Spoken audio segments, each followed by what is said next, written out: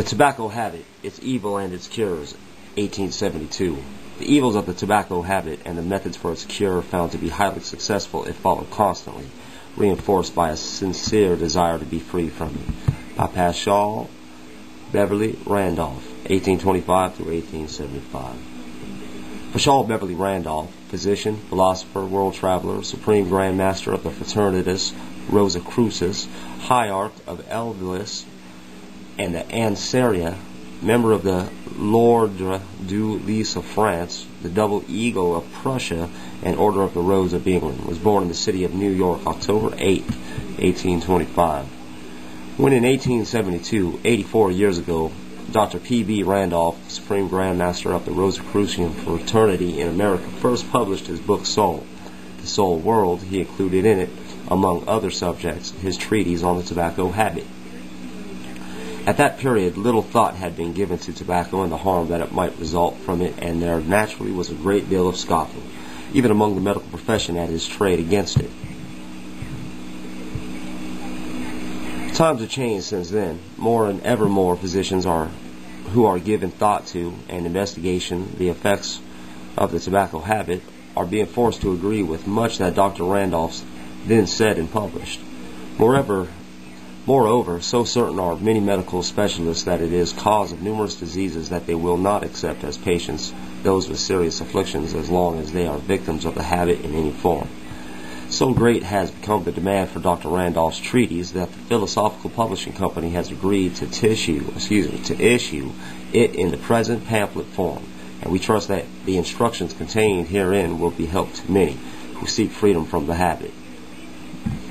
R. Swinburne Clymer, The Tobacco Evil. After this book, Soul World, was all in type, as I sat one night in my office deploring my loneliness, a vision of the three great curses of the Christian and Islamic world passed before the eyes of my soul lust, rum, and tobacco. Bad, worse, and worse.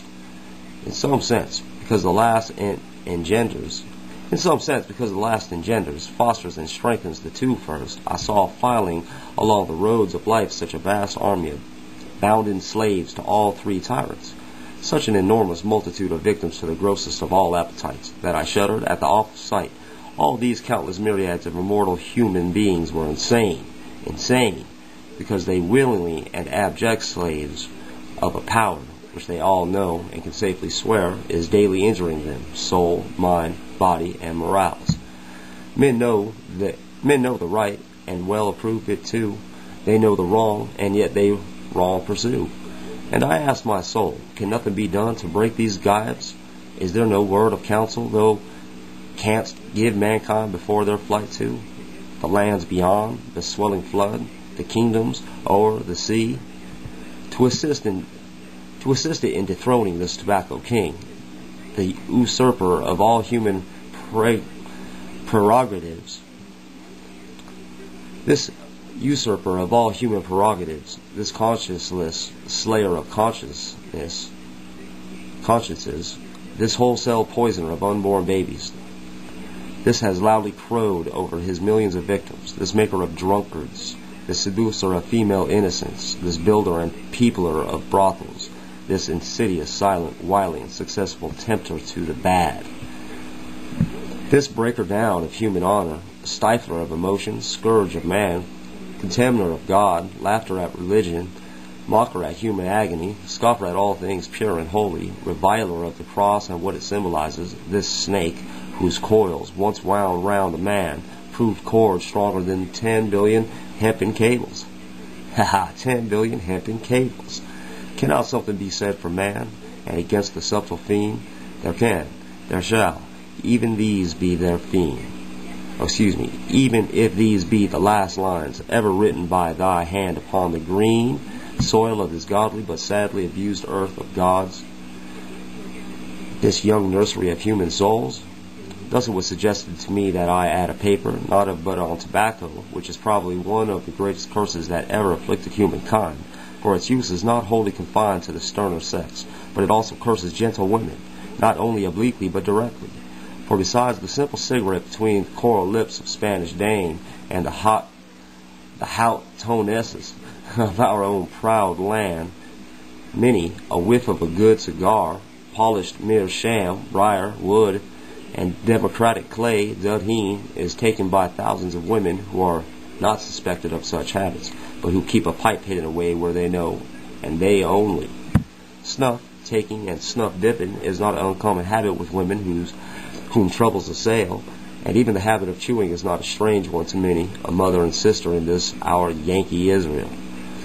Tobacco appetites, where we at? Tobacco appetites are born with us for the reason that one or both our parents' bodies and souls too are, to a greater or less extent, saturated with the weed which saturation having gone on from generation to generation through and in and by generation, the natural and inevitable consequence is just what might be expected. We take to the weed as ducks do to water, with most astonishing ease and avidity, and speedily become so saturated by it in turn that we have no difficulty whatever in handing down the appetite for, it to, for it to the next generation. Of course, with an increment of force and power greater and intenser from cumulative energy. The Americans chew, smoke, and snuff, while other people are content generally to kill themselves with tobacco by a slower process and either snuff or smoke themselves away. It is no part of my intention here to enter into a long discussion of the effects of the weed upon their bodies, spirits, intellects, morals, morals, or souls of those of us who use it, but to give hope and courage and point out the road of deliverance to whose have been of their own free will by stress or early bad example, or by inherited bias, been around, been bound hand and foot, soul and body, by the stinking yet charming demon.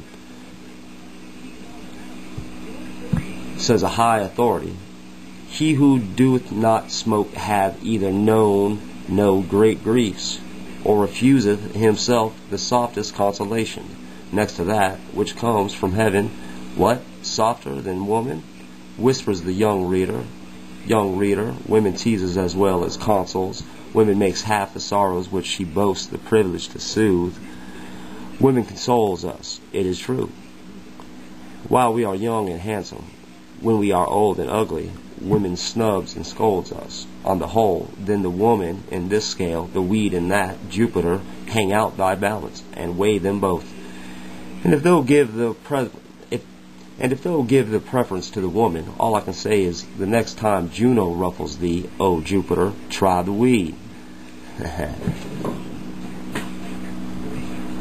Where we at? And yet the man, Bulwer, who wrote those very words, would, I doubt not, give half his income to be well rid of his true consoler, for notwithstanding its admitted charm, it is incontestably a grievous curse to whoever uses it in any way, shape, or manner. There's not the slightest doubt about the matter.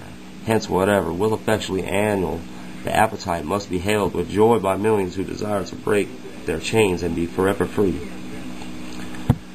For such then I wrote additional section to one of my works, The Soul World and the World of Souls, and also shall publish it in pamphlet form for the benefit of such as may not have or procure the larger work.